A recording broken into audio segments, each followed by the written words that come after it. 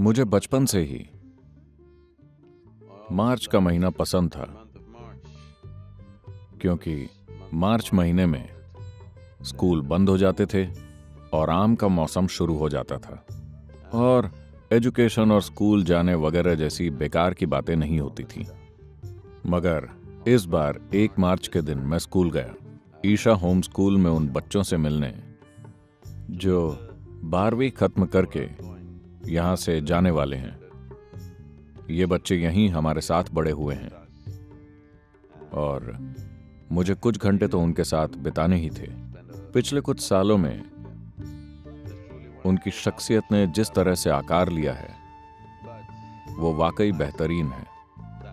हमने इन बच्चों को इसकी परवाह किए बिना बड़ा किया है कि वो जीवन में क्या करेंगे, रोजी रोटी कैसे कमाएँगे, और उनका क्या होगा। क्योंकि जब मैं बड़ा हो रहा था तो मुझे ऐसी कोई चिंता नहीं थी कि मेरा क्या होगा, मैं क्या करूँगा, अपना जीवन कैसे संवारूँगा। मैं बस इतना ही जानता हूँ कि मार्च महीने में मैं पागल हो जाता था। तो उस दिन मैं इन बच्चों के साथ था। उन्होंने वाकई बहुत अच्छा विकास किया और मैं बहुत खुश हूँ। जिन लोगों ने होम स्कूल को कामयाब बनाने के लिए मेहनत की है, उनका काम वाकई असाधारण है। ईशा होम स्कूल निश्चित रूप से ईशा फाउंडेशन के चमकते सितारों में से एक है। यह अनोखी है और सुंदर भी। यह सचमुच में अद्भुत है कि मेरे जैसा आदमी, जिसे हमेशा क्लासरूम से एलर्जी रही थी, वहाँ जाने पर मैं सोचता हूँ कि क्या मुझे फिर एक बार स्कूल जाने का दूसरा मौका मिल सकता है? तो इस बार, एक मार्च से मार्च का महीना इस तरह शुरू हुआ। मैं उनके साथ करीब दो घंटे ही बिता सका।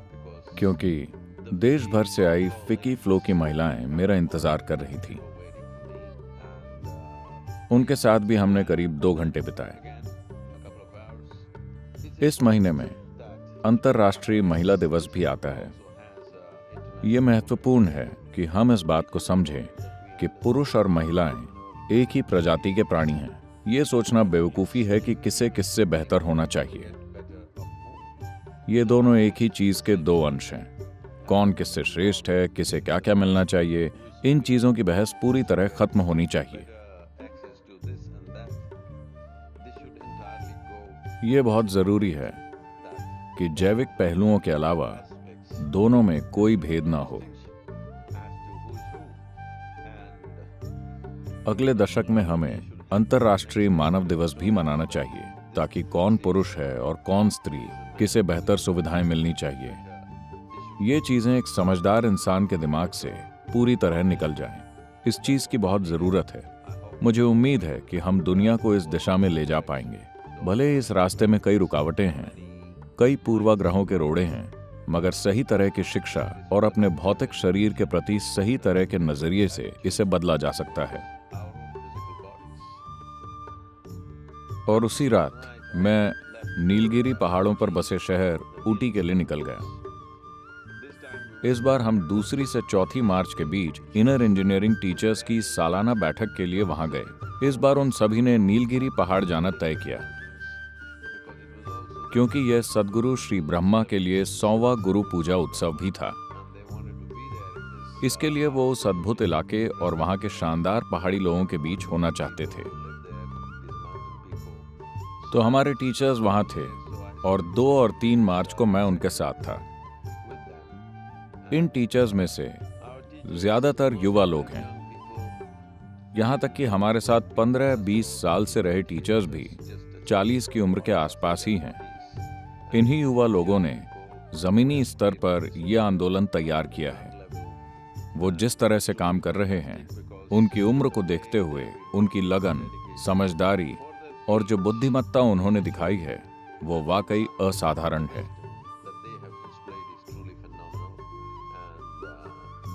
काश मैं अपने टीचर्स के साथ थोड़ा और समय बिता पाता क्योंकि मैं उनके अंदर और भी बहुत कुछ डाल सकता हूँ।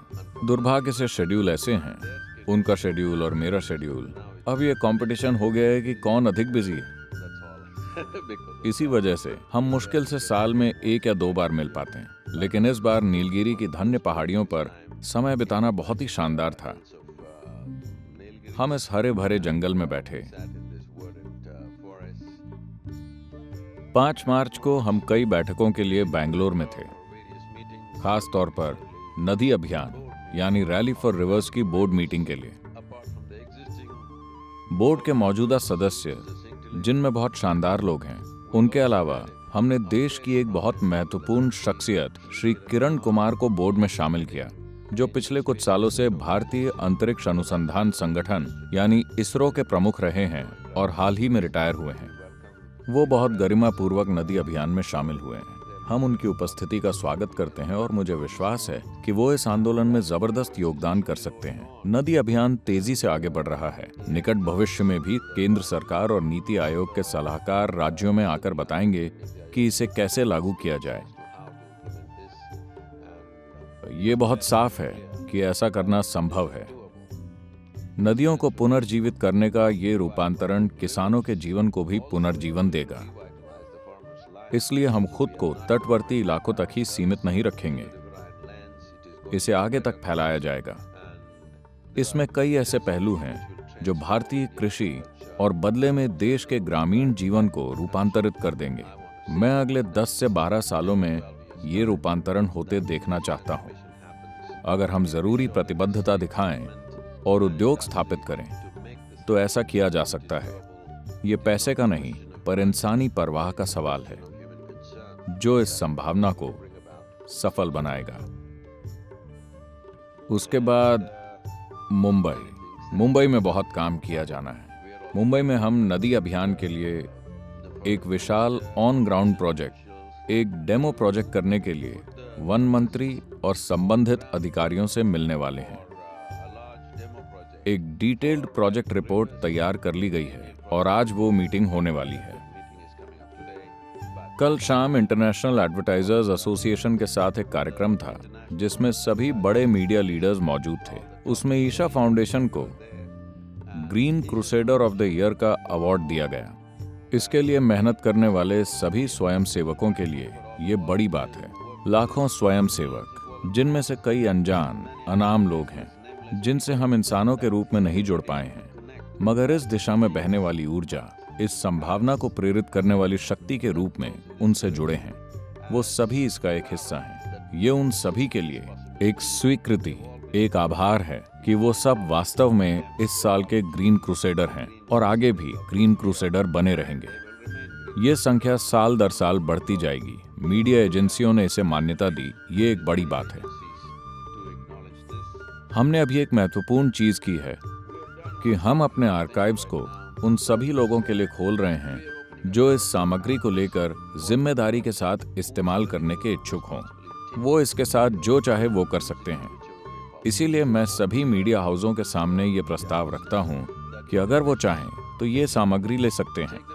हमारे पास सैकड़ों घंटों की वीडियो और ऑडियो सामग्री है, जो मानव जीवन को छू सकती है और रूपांतरित कर सकती है।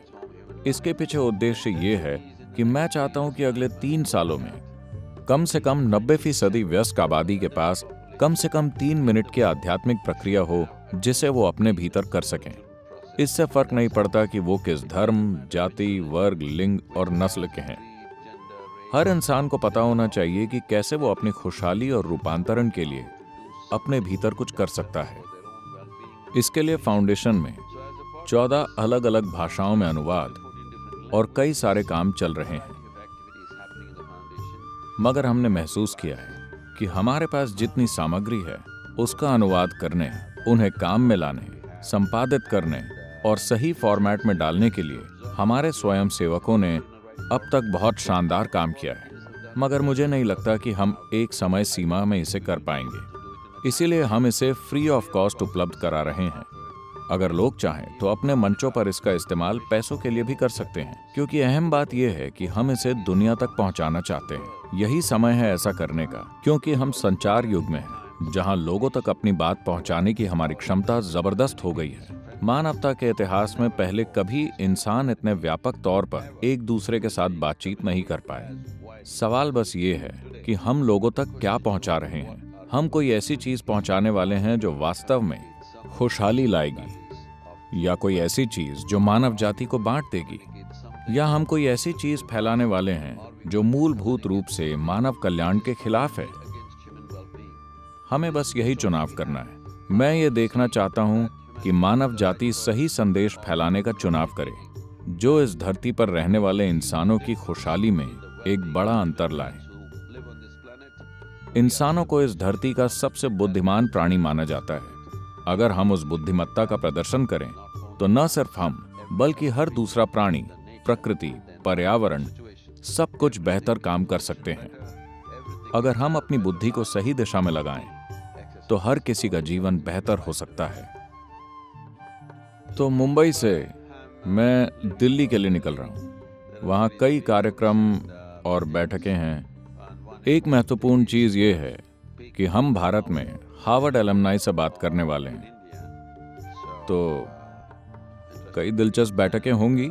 सबसे बढ़कर नदी अभियान वास्तव में तेज़ी से आगे बढ़ रहा है और दिल्ली में इस बारे में करने को बहुत कुछ है। क्या आपको लगता है कि मैंने इस हफ़्ते के लिए अपनी रोजी रोटी कमा ली है? थैंक यू नमस्कार।